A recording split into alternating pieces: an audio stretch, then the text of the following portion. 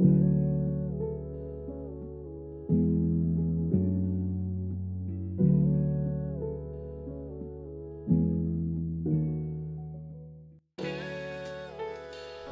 and love, everybody. Today's video is sponsored by Yes Yeezy. They have brought me another pair of Yeezy 2s, the Pure Platinums this time. And we're gonna unbox them, we're gonna review them, we're gonna on-feet them like we normally do. So let's let's just get into it. You already know what it is. So we got the Nike sportswear box. It took a hit, but again, we don't we don't wear the box, so we wear the shoes, right? Official name is the Wolf Grey Pure Platinum. They came out on the 13th of March in 2012. I've always wanted the shoe, took a big fat L back then, and I could not get the shoe. So here I am in 2020, getting the shoe in a, in a different kind of way. Yes, Yeezy has sent me the the black sail pair previously. Got to have the Celica, and I love the shoe. So they were nice enough to get me another pair for review for you guys, and hopefully the Red Octobers would be following that. So on the box, you can see the Y and the Z are touching. That's kind of a giveaway that they're not retail, but again, we don't we don't wear the box. We wear the shoes. The scan didn't pick up anything, and it really doesn't matter. Here's the dust bag, which is crazy. It has Horus on it again. Looks okay, but I probably won't use it. The bag also has those lace tips on it as well and these ones are gold. The one on the shoes are not gold; they're like gray. So you could easily swap those out for the gold ones if you don't like them. I took another look at the bag, and on the backside, the sportswear stitching is not that great, but I don't know if that really matters. Again, we don't wear the bag either; we wear the shoes. But just looking at the the lettering on there, I'm I'm not sure about that. But anyways, let's just jump into the shoe. You got the pure platinums here. They have that beautiful greenish glow in the dark bottom, which is kind of iconic. Let's get some better light on these bad boys. And this shoe to me is just one of the more perfect silhouettes coming from Nike. Um, I can see around the leather there. There's, there's some there's some poking out from the leather there when they sewed it down. Um, I've always wanted the shoe, and I know I probably won't pay the ten or fifteen thousand dollars for the shoe, and it's really old at this point.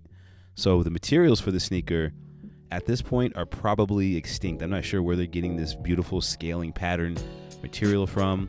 I don't know if they're just mixing materials that look like the originals, but to me it doesn't matter. I think they're dope. It looks good. I would definitely wear these in public. I actually already have wore these in public, and I don't care about call outs. You can call me out and we'll have the conversation. And like I told you guys before, I've actually converted a few people that called me out. They didn't call me out like aggressively, like you're wearing fakes, like a freaking 12 year old. We just had a conversation, got my information, and then they ordered some shoes. So let's go ahead and look at the toe box here. This is a very nice sweet suede that they keep using. Um, it, it, there's no glue really. I see a little bit there, but the craftsmanship from Yes Yeezy is pretty spot on with this pair. The black ones were good. This one's good. So I'm, I'm pretty happy with the product. I'm thinking this is the more least popular pair out of the three, the sails and the Red Octobers. Um, this is my least favorite out of the three as well, but they're great. They're really great. And the shoe is really comfortable. I did have some issues with the right shoe, but that's okay. Just kind of little adjustments there made it right. Here are the birds from the Egyptian text, which I explained in the Black and Sail video. So please go and check the Black and Sail video out. If you haven't, it did really well. I gave a, a lot more history about the shoe and how it was made and Yeezy's um, inspirations, putting Horus on here again, an Egyptian god or deity. I thought it was a nice touch. It made the shoe really stand out. And it's again, it's just overall the shoe is lit. It's, it's, it's a beautiful sneaker, and I'm I'm glad Yes Yeezy just got me another pair. To be straight honest, those lace locks are really good too. By the way, those are the horns or the kind of the head of Horus. Um, the inside of the tag says 21112. And believe me, trying to film that little tag is so hard.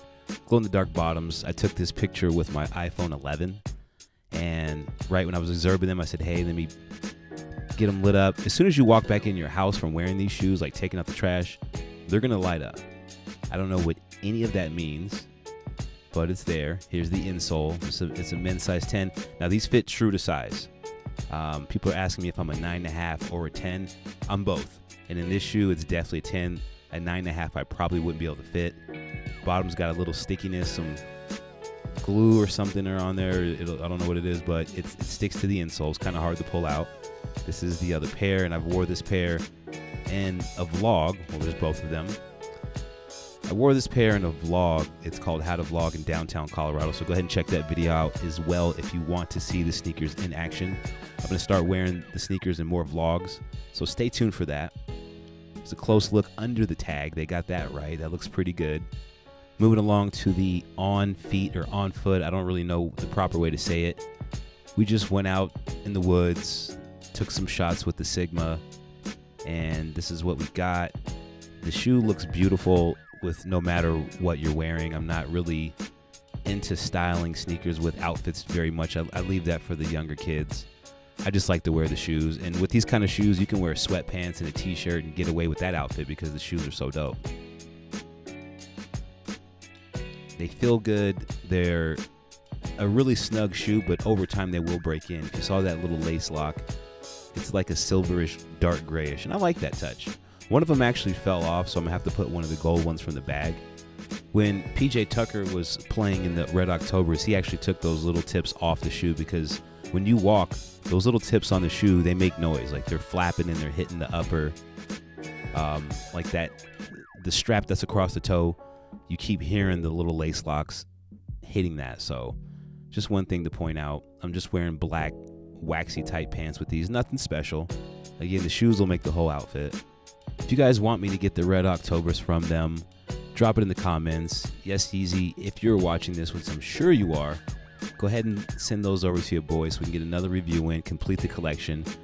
Um, I think the red ones are a little, you know, they're a little ambiguous, but I'll, you know, I'll still rock them because people are really on you when you wear the Red Octobers. Um, but anyway, guys, that's the video. Just want to give you a little review of these. Check out Yes Yeezy. They're great customer service is wonderful. They got these to me in about 17 days, considering what's going on. But, you know, we got to take what we can get. Peace and love, guys. I will catch you on the next video. Please follow me on Instagram because that is where I do a lot of the personal questions. I don't like to answer a lot of personal questions as far as like pricing and that kind of thing in the comments below. I like to do that on my IG so we can have like a real conversation and it's more private. So just hit me up on IG. Peace out. I love you guys. I could not do these videos without you. Stay tuned to the next one. I got some more heat coming. And uh, peace and love. Take care.